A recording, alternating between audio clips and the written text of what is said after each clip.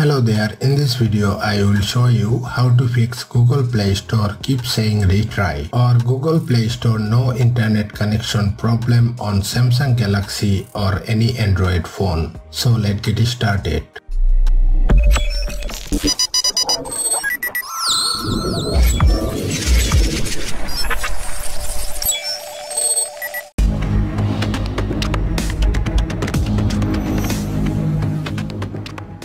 Before going to the troubleshooting, make sure your internet is working well by searching something on the internet. If it's fine, then start the troubleshooting. Method 1. First of all, go to settings.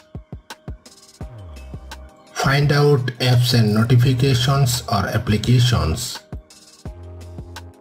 Open it. Scroll down and find out the Play Store.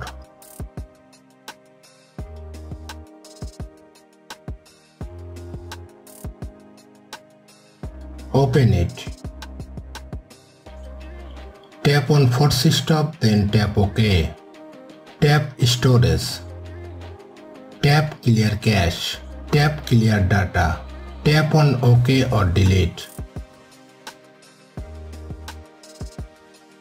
Now move back to your home screen and restart your phone.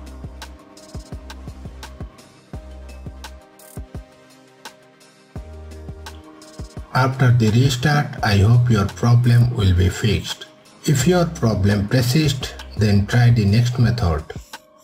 Method number 2. Go to settings.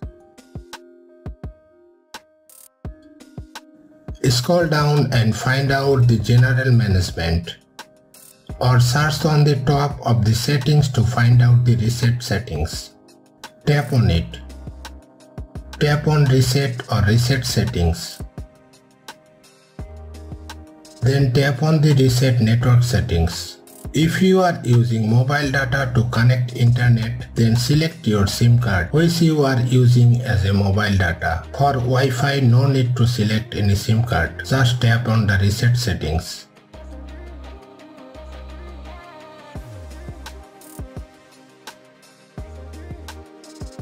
Unlock your phone and tap on reset. After the network reset is completed, go to Wi-Fi and connect with your Wi-Fi network. Or if you are using mobile data, then turn on your mobile data and check it out the Play Store internet connection problem is remains or gone.